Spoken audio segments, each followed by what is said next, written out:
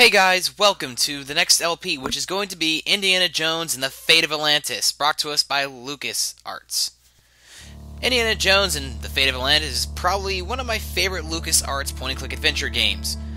It's about up there with the original Monkey Island game, but in all honesty, I prefer this over Monkey Island. Because first and foremost, I'm a huge Indiana Jones fan, and this is an amazing story. Not to mention, uh, this story did have a sequel on the N64 and the PC, which was known as Indiana Jones and the Infernal Machine.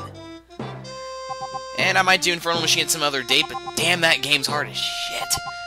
But anyway, this is Indiana Jones, The Fate of Atlantis, a point-and-click adventure game by LucasArts, as I said before, where we play as Indiana Jones. However, this is a special version of it. When this game was released, there were two versions made. There was a standard version, and there was a talkie version. All right, Jones. How you gonna find that statue and all this junk? That's right, folks. This is the talkie version. Some kind of funeral urn. And I absolutely love the talkie version. It's a stone carving of Shiva.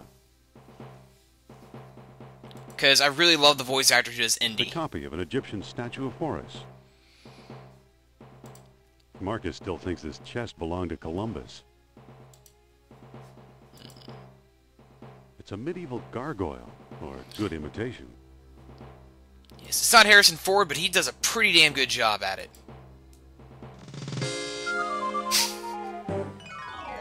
Oof! Now, in this little introduction, you can skip it anytime hit- hitting escape, but this is actually a really neat little way to introduce you to Indiana Jones as well as uh, the char- uh, the characters that we shall soon see.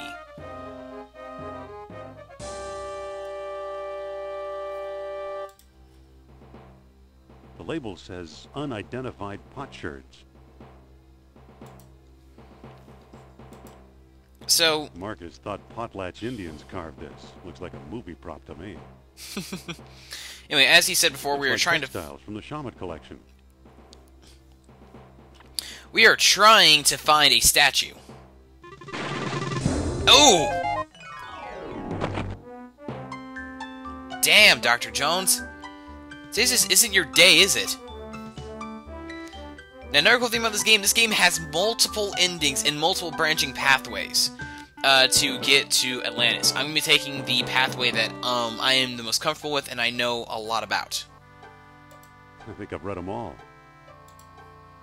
It's an old lecture hall desk. Ah, books on statues. This should help us. These books don't look familiar. Uh-oh.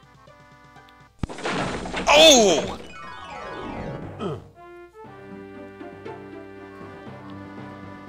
And yes, John Williams. Yes, John Williams did help out in small ways for this, but other than that, um, music is very. The music's amazing in this game.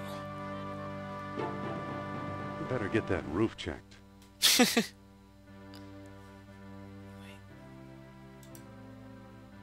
Possibly an ancient Mesopotamian cat god.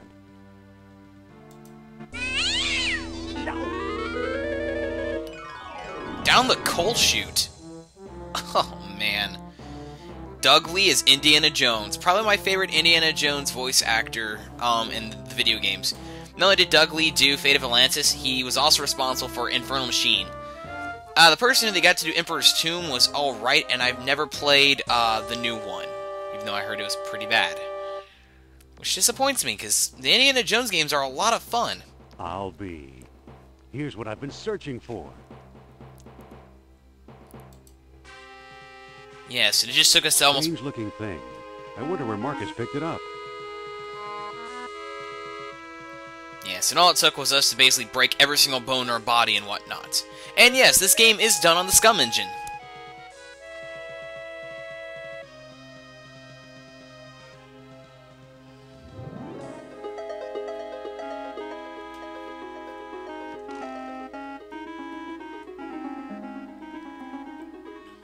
As we go into the lecture hall to talk to Marcus about this horned statue of ours that he wanted so badly.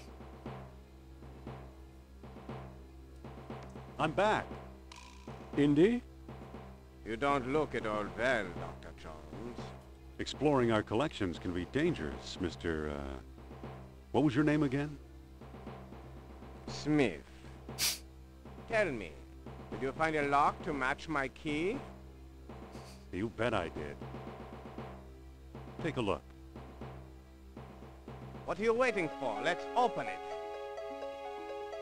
Why not? It's an obvious fake. You may think so, Doctor, but I believe we are opening a new chapter in history. My word, Indy, a small metal bead. Jewelry, perhaps? I still think it's a fake. Then you won't mind if I take it. Really, Mr. Smith? Stand back, gentlemen. I hope you've got a getaway car waiting. You'll need one. Hmm. What is fate?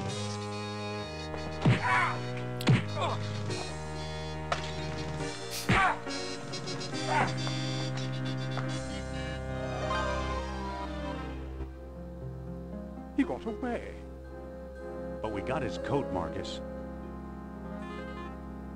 Hey, what's this? Klaus Kerner, huh? Good lord, indeed. A man's some sort of agent from the Third Reich. Oh yes, we're dealing with Nazis again, ladies and gentlemen. The spy one with the Buddhist statue? I lied, Marcus. I don't think it's a phony. I can't place the style, but it's old. Look what else our friend was carrying. An old copy of National Archaeology. And there you are in Iceland. Yeah, field supervisor for the Jastro expedition. My first real job. Who's the woman? Sophia Hapgood. She was my assistant, a spoiled rich kid from Boston, rebelling against her family. Where is she now? She gave up archaeology to become a psychic. How odd. You can say that again. Indy, Kerner found you. What if he finds her? We should warn the woman. You're right. I want to know more about that statue. That's why I got into my nice suit and everything. You know, Marcus, the coldest year of my life was the one I spent in Iceland with Sophia. And I tend to rekindle an old flame. Ho ho.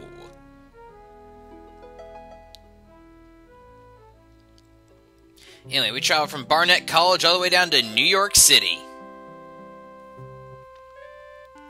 And now our game begins. Hello there.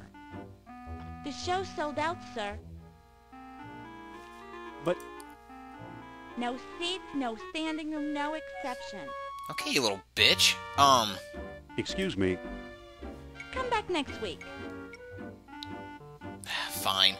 Anyway, standard controls for a point and click adventure game. Left click lets you walk, and then if you uh, hold an object, you can right click to shortcut to the paper. highlighted to the highlighted object. But it's today's paper. let's go and pick up today's paper.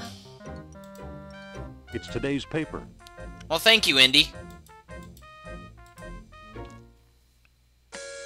I can't make a call. I'm out of nickels. Well, damn. That's much for that idea. But hey, what's this? The back door is unguarded. We could very easily sneak in. Hmm, it's unlocked. Just our luck. What do you want, pal? This ain't no ticket office. Well, it looks like one. I'm here to enjoy Madam's outrageous orations. This ain't that kind of show. Oh, do I wanna... Really? I'm told she postulates on stage.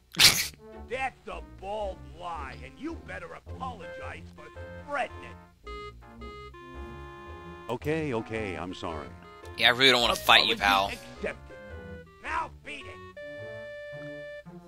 Wait a minute. What now, buddy? I really need to talk to your star. That's what they all say, Mac. Help me out here, will you? I would, but she'd have my head. Good night. Better luck next time. Now, see, there are multiple ways to get through this. You can There's try gotta some way to talk my way in. yeah, you can try talking your way with the brute, or you can fight him. And I'm going to tell you right now, the fighting mechanics in this game are very wonky crate. and busted. So we're going to do it this way by simply pushing. Wrong way, Indy. Come on. Great. Okay. Push crate. I can't reach it. I can't reach it.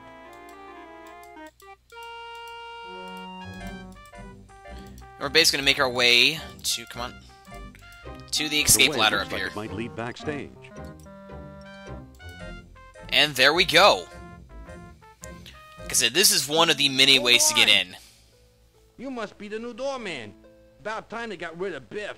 He was such a pushover. I need to talk to that so-called psychic. It's Madame Sophia to us employees, fella. Hold on! You can't go out there. Yes, I can. I'm Dr. Take Indiana Jones. and Watch the show. Here, my friends, is Atlantis, as it might have appeared in its heyday.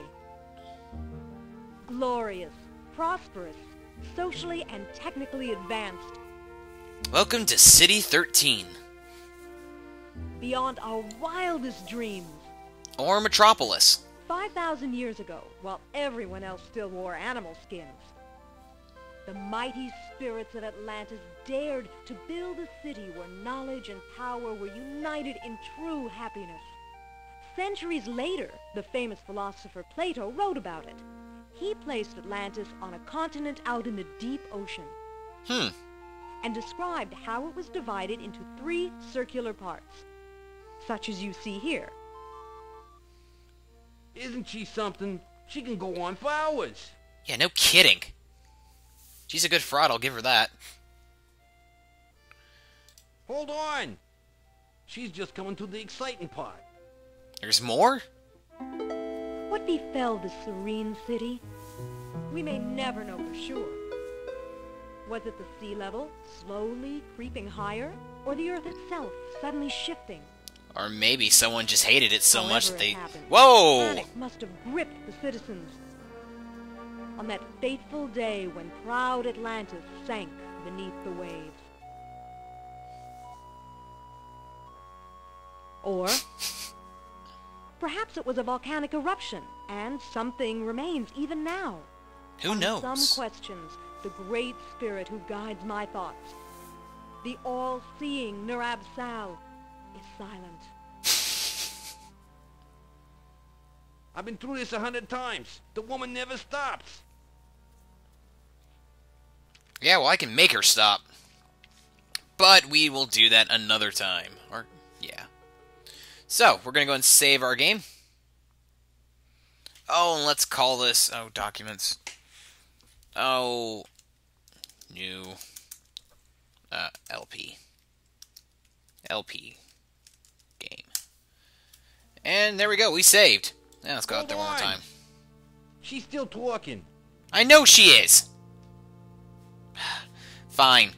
Well, until next time, guys, we'll figure out how to get rid of our faithful little stagehand right here so we can actually go talk to this so called psychic.